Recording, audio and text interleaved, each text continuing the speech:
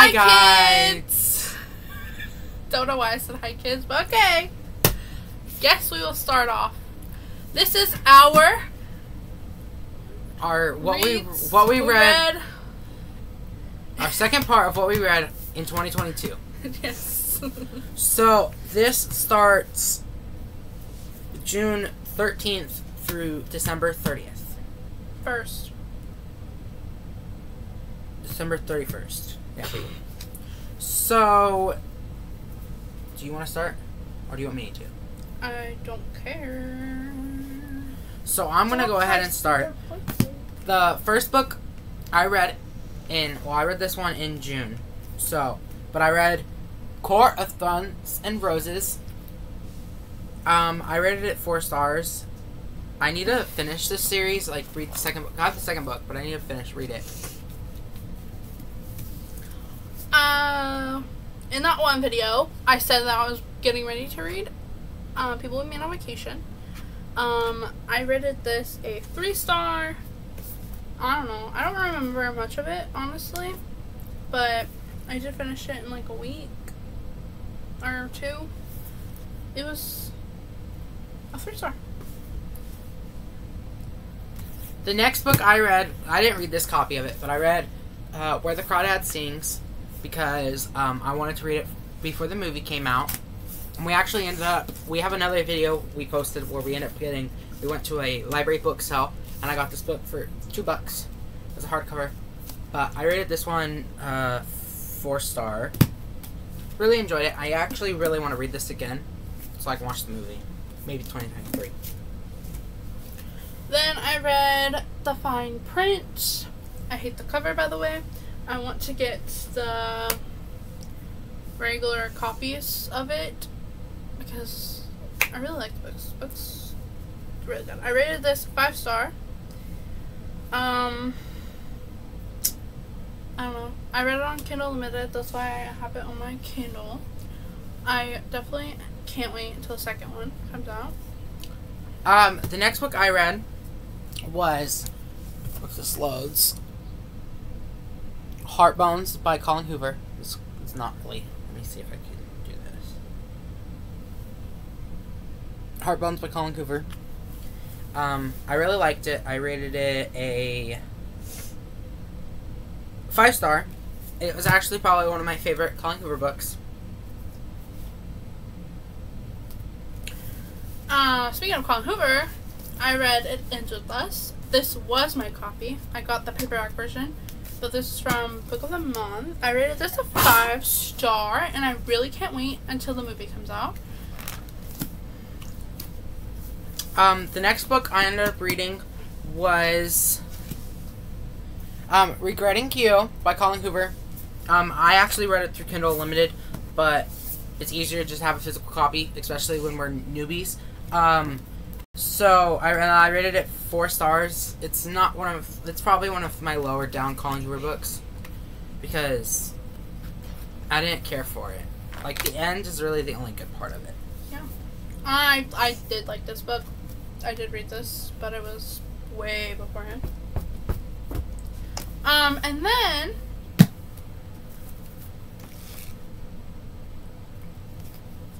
um, Um, and then we both read Inheritance Games, the first one. we really liked it. We really liked it. We rated it five stars. It's definitely one of our favorite books of 2023, and uh, it got us into like the mystery type books because we really like mystery now, like mystery and like crime, and then like we like the twists. Yes. Twists. There's a lot of twists in that book. Definitely one of the better ones. Okay, and then the next book I read was Carrie by Stephen King. Um, I really enjoyed this book. It was confusing at first, but it's like a really short book, and it's like one of Stephen King's first books. Um, I rated it a three and a. I rated it a three and a half stars, so I really liked it. And then I read Terms and Conditions. It's the second book of the Dreamland Billionaires, which is the after Um, I rated this a five star. I will probably read the give the third book, the final book, a five star as well because they're like so good. Um, we're in July already. Oh, we we kind of forgot. Um, one of the books I read in July was um, Josh and Hazel's Guide to Not Dating by um, Christina Lauren. I really liked it. I rated it a four star. It's actually like a pretty good. Um, I think it's a friends to lovers trope. Really liked it. And then I read Finley, Finley Donovan is killing it. I can't wait until the other two books are out because I really like this book. I rated it a five star. Um, I finished this. I started reading it July 30th, and I finished reading it August 6th.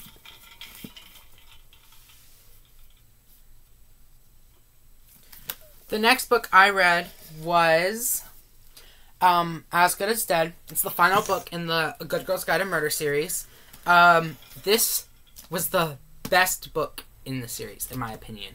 She hasn't read this book, but the twist halfway through this book, just crazy. Rated it a five star.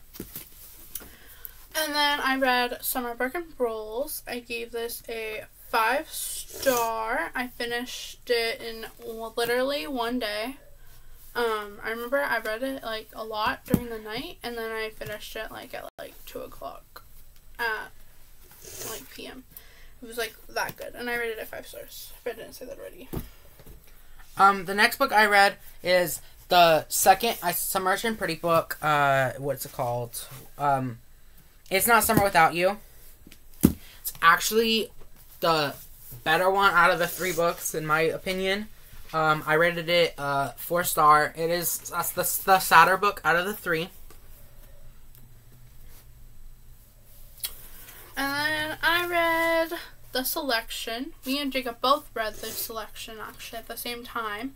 I believe we both rated it the same thing. I rated it a three star. It honestly wasn't the best. It's definitely more of a childish book. My sister, or our sister, read it and she really likes it. She read like up to the third one. She needs to read the fourth one, and then I want to say there's a fifth one. I'm not really sure, but it was okay. I mean, I think I'd enjoy if they made like a show or something of it more. Like Hunger Games or whatnot. It kind of reminded me of that to a certain extent. It's like a Bachelor in a Hunger Games world, hmm is what it is explained. But yeah. Um, next book I read, which actually I read them in like different times, but I actually I'm putting this here because I finished the series here. I read the Mindfuck series by S.T. Abbey, and I actually found out that she's dead. Just kind of sad. Um, this is probably one of my the the the the artist, not the the, the uh Author. author is dead. But um I rated it five stars. This is probably one of the best series that I have read that is romance. And I liked how they were short novellas. And then me and Jacob both read um uh, Evidence of Affair. I need to show you it. It was really it short. was really short. We rated it at three stars by Taylor Jenkins Reid, We which actually is my first book that I read of hers. which we actually um ended up doing a reading. Like we walked and read it because it was only like an hour. Um okay, and then the next book I read is the We'll Always Have Summer by from the Summer Rich and Pretty series. Um I rated it three stars. I didn't care for it. Ending was bad. And then I read Full Tilt. I want to say Sarah Caroli, um, a YouTuber, actually recommended it, and she said it was okay. And then I started like, I was like, okay, it's not getting limited. I'm gonna get to it. And then I rated it a four star, and it was really good. It was sad. Um, sad.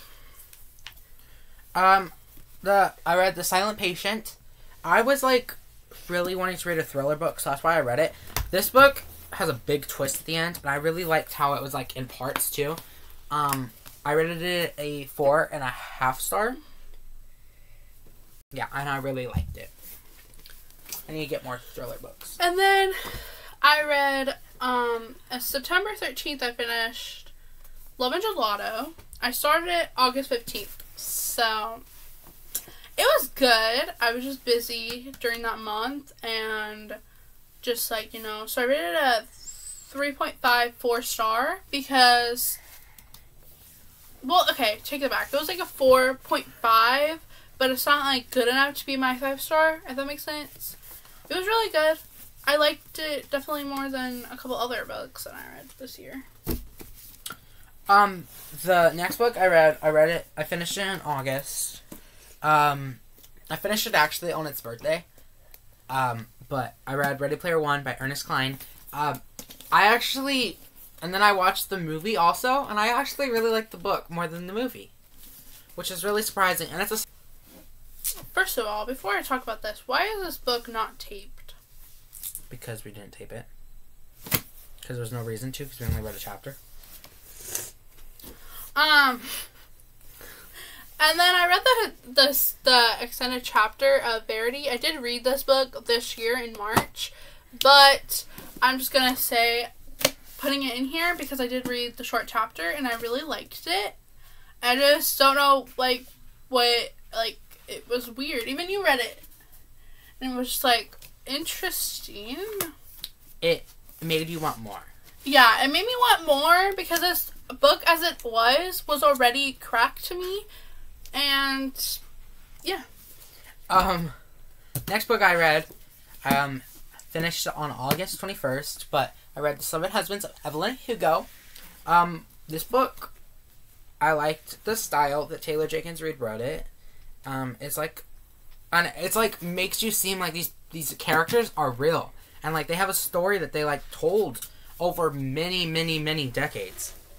I rated this a five star. I then read uh, Good Girl Bad Blood. I really like this book. I haven't read the third one, so I don't know for sure if I like like this book more. But I definitely like this book more than the first one. Yeah, same with me. I even when I was reading it with my boyfriend on, on the phone with me, and he even enjoyed it. I mean, he liked hearing about it, so that's another plus. Um, to be fair, I regret reading this book because I think it got me it got me in a big slump for the next past couple of months. Um, I read Pieces of Her. It was really slow. It literally took me a month to read. I literally finished it. I started reading it on August 21st, and I finished it on September 29th. So it took me a whole month. And this book was so slow. I ended up rating it at three stars. But now that I'm thinking about it, I think I'm going to change it probably to a two star. I then read All In by Emma Scott. This book I loved as well, but I liked Full Tilt better. I definitely want to read more of Emma Scott's series because it's also like just more easier for me to read because it's shorter stuff. But I rated this a four star, and I only I finished in like three days. Um, the next book I read is. It's The Perfect Marriage. Like it's being really The Perfect Marriage by Geneva Rose. Um, this book was another one when I really I was I was really into like wanting a thriller book, so I read it. I read it on Kindle Unlimited, and it was actually really good. Um, I read the audiobook that was included in it, and that was made it better. And then I watched, I watched, I read Maybe Someday by Colleen Hoover. Um, this is actually a really good book. I definitely recommend it. Like, I know a lot of people hate on these books, and I don't know. I really liked it. It has like a little piece of me still there, and I think about it quite a bit actually. Um, I rated it a 4.5. And also, what makes it better is that it was published on my birthday, which is March 18th, 2014. I mean, obviously, I'm not born in 2014, but it was published then, and it just makes my me happier. But I finished in about two weeks because I was kind of busy that month as well. Um, the next book I read, which I read The Obsession, um, by Jesse Q. Sutanto. This book was like a you book, and that's what I think I really liked it, is because it was like you. But instead of guy being so obsessive, the girl is. But it was really good. I rated it four stars.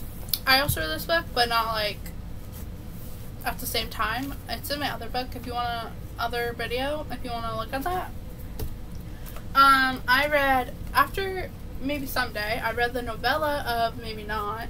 This book actually was really good, and it maybe a like maybe someday more. Honestly.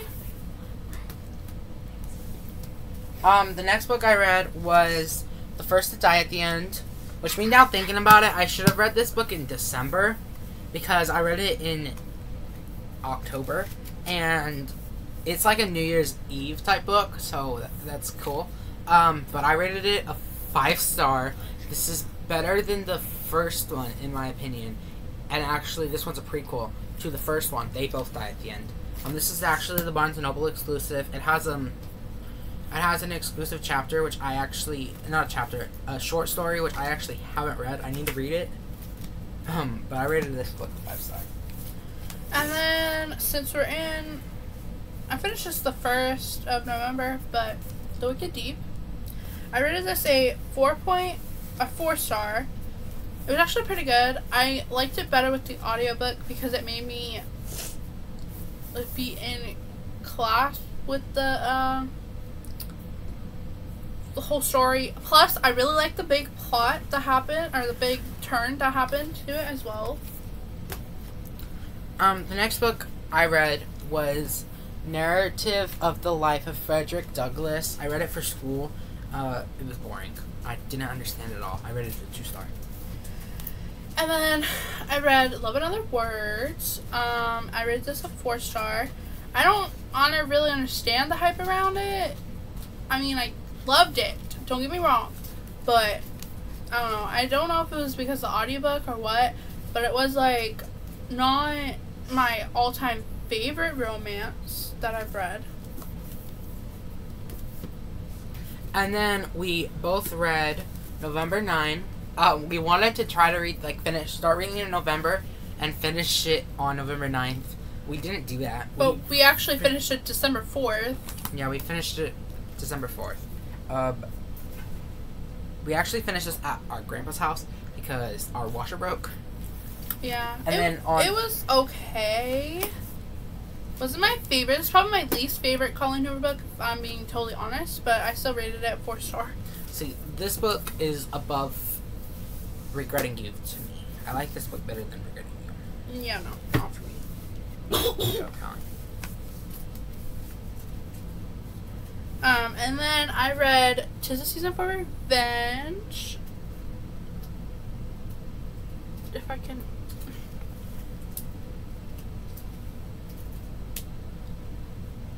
Where did it go? Tis the Season for Revenge. It's a weird little picture. Um, I rated it a five star. It was really good. I mean, I think it was like more so 4.5 for me because of all the spice that I had because I don't particularly like spice in my books. It just takes so much time out of me reading, and I'm like, why? So it's about like a 4.5 just because of the spice. But other than that, I really liked it.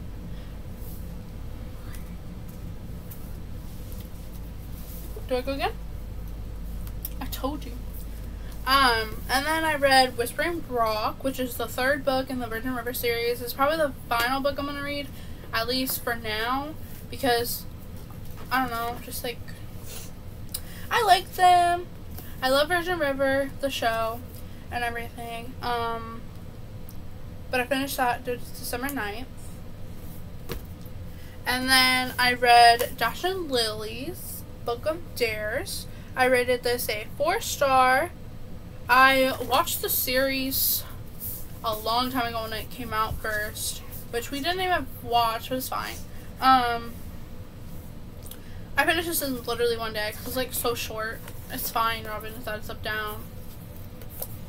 Um, and then I read Violet Bent Backwards Over the Grass by Lana Del Rey. I got into Lana Del Rey's music in October, but uh, we were like listening to like book series, like like we were listen- when we were reading our books, we were listening to like playlists that were created that say like reading this book, and she was in it a lot, so that's also why I got into her. Um, this is a poetry book by her, and actually, these, like these poetries, and there's also like pictures and stuff in it. It's cool. Um, I really like this book. And then I read Meet Me Under the Mistletoe. I rated this a four star. I finished it in about a week. I liked it for a Christmas book, if that makes any sense. And then I read Normal People by Sally Rooney. Um, I absolutely hated this book. I literally don't even remember anything about this book anymore. Um, it was a two star for me. Uh, I finished it in like three weeks. I read that too. It's in the other book. I've read it, other video. I read it before People We Meet on Vacation, and I also read it, rated it two stars. Um, and then I read Anna the French Kiss, which honestly, again, I don't know what the freaking hype is of this book because it wasn't that great, in all honesty. Um, I rated it a 2.5, but on Goodreads, I rated it a 3 star. um, I also was reading the audiobook of it, or doing the audiobook of it, and it honestly didn't make it better. Um, the next book I read was Dash and Lily's Book of Dares. Um, finished this. I started it before Christmas. I finished it after Christmas. Um, I really liked it. Um, also, I watched the show a long time ago. It was really good. Um, and then we read Hawthorne Legacy. This was really good, except Jacob freaking spoiled it for us. So it wasn't like the plot wasn't. You know, I don't know if that makes any sense or if I look stupid, but we rated it a four star. It was good. Um, It was really good, and we finished it in like a we finished it in three days. three days, and one day is because we read our other books, you know, French Kiss, and he was reading Dash Lily. But yeah, four star. Um, then finally, and then our last finally, our last book. We actually read this on New Year's Eve. We finished it on New Year's Eve. And I'm really glad we read it. I'm really freaking glad we, we read it. Daisy It Jones was and the so Six. good. We did the audiobook because it was just like because it's a it's a documentary style. Um, it's a bunch of interviews. We started it by reading it together, like reading it out loud together, and then we figured it would be kind of confusing because like we have the same voice, of course, and they're different characters. yes. Um, so we ended up getting the getting it on Audible. Uh, finished it in Two days. two days. Um, really enjoyed it. It's this book is loosely based off of Fleetwood Mac, which made me want to get some. I want to get some Fleetwood Mac music.